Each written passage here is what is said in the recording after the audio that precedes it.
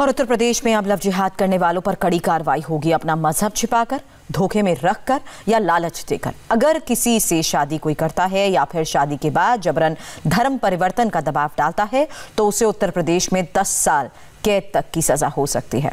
कल योगी आदित्यनाथ की कैबिनेट ने लव जिहाद के खिलाफ अध्यादेश को मंजूरी दी है।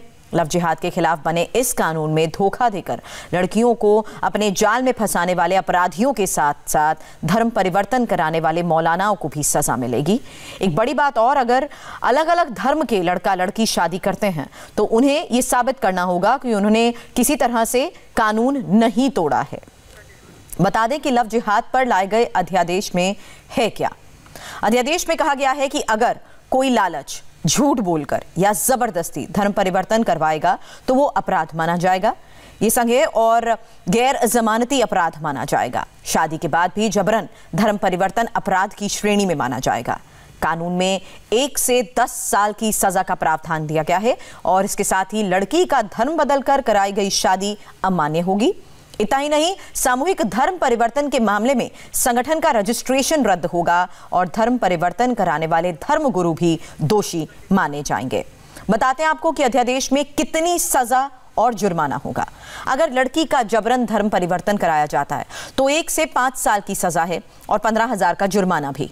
अगर लड़की नाबालिग, एससी या एसटी समाज से आती हो तो उस मामले में तीन से दस साल तक की सजा और पच्चीस हज़ार का जुर्माना। इसके साथ ही अगर धर्म परिवर्तन सामूहिक तौर पर होगा तो तीन से दस साल की सजा का प्रावधान अध्यादेश में किया गया है। साथ ही पचास हज़ार तक का जुर्माना भी लग सकता है। यूपी सरकार का यह भी कहना है कि इस अध्यादेश से राज्यों की बेटियों को सुरक्षा मिलेगी, उनकी ज़िंदगी सुधरेगी, लव जिहाद रुकेगा। लेकिन समाजवादी पार्टी ने इस अध्यादेश पर सवाल उठा दिए हैं।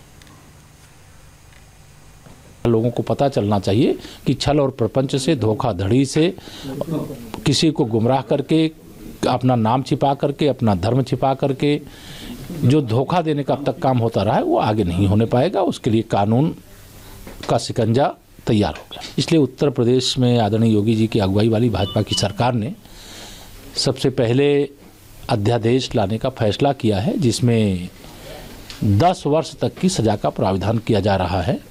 और उस घटना के जो दोषी होंगे, उन दोषियों के खिलाफ कठोरतम कार्रवाई यह करने का निर्णय लिया गया। ये जनहित का कानून है और इससे लोगों की जिंदगियाँ सुरक्षित होंगी। हमारी बच्चियों की जिनको बहला फुसला कर लोग शादी कर लिया करते थे और उसके बाद धर्म परिवर्तन करते थे उनका, उनको दबाव बनाते थे कि आप इस्लाम कबूल करिए, कोई निकाह करने की बात करता था। तो इस तरह की जो बातें थी, उन पर विराम लगेगा और जो लोग इस साजिश में शामिल थे, जो सिंडिकेट चला रहे थे और जो उनकी दुकानें चल रही थी, उनकी दुकानें भी बंद हुई हैं और जो लोग इस तरह का सिंडिकेट चला रहे थे, उनके खिलाफ कड़ाई से निपटने का काम करेगी सरकार। इस कानून के तहत उनको जेल में डालने का काम करेगी। अब हमारे उत्तर प्रदेश में सब नहीं चलेगा। ये भारतीय जनता पार्टी लव जिहाद के नाम पर अपनी नाकामी छिपाना चाहती है, अपने भ्रष्टाचार छिपाना चाहती है। वो नहीं चाहती है कोरोना पर बहस हो, वो नहीं चाहती है कि किसान पे बहस हो, गरीब पर बहस हो, बेरोजगार नौजवान पे बहस हो, बिगड़ी कानून व्यवस्था पर बहस हो। इसलिए वो इसको तूल दे रहे हैं। और अभी उत्तर प्रदेश में चौदह मामले थे, सरकार को लगा ये लव जिहाद के हैं।